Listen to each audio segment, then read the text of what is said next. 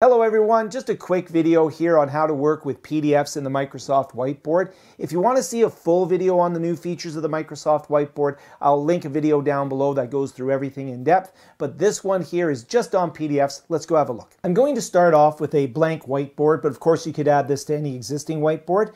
And when I go to the ellipse, I'm going to choose Documents. When I choose the document, I can pull it from an online source or I can grab documents from my system.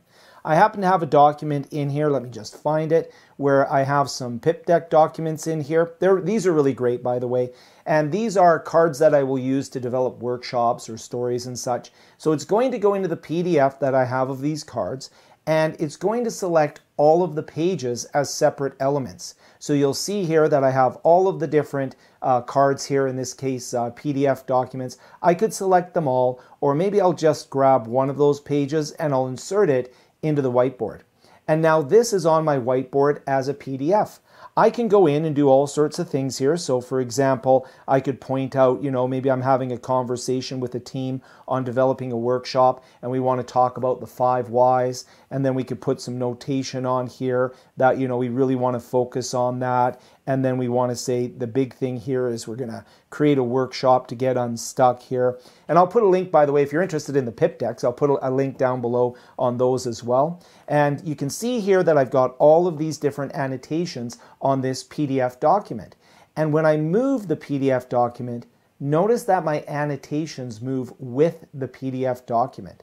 And I can go in, and if I do an erase, so I'll go to the eraser, so I'll just grab the eraser here.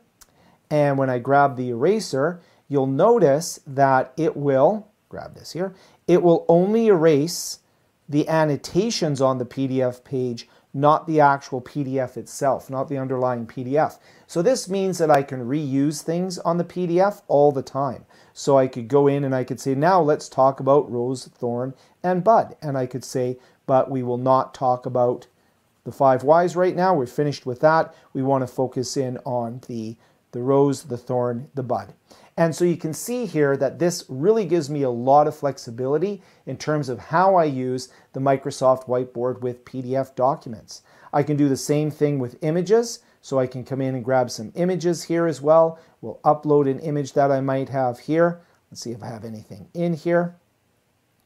So we'll grab the subscribe button. Oh, how convenient. So this here is a document with the subscribe button in here. I can go in and I could make annotations here as well. So I could say it's so important for you to subscribe and we can do that as well. You know, that was unplanned, actually. I, I had no idea that that was a subscribe button. So anyways, hopefully you've made it this far. Sometimes when you say subscribe, people get annoyed and click off the video. So I hope you found this useful. Let me know in the comments down below. If you're interested in the PIP decks, I'll put a, a link for them down below as well. But the whiteboard with PDF documents is super easy to use and quite useful in a classroom or a presentation setting.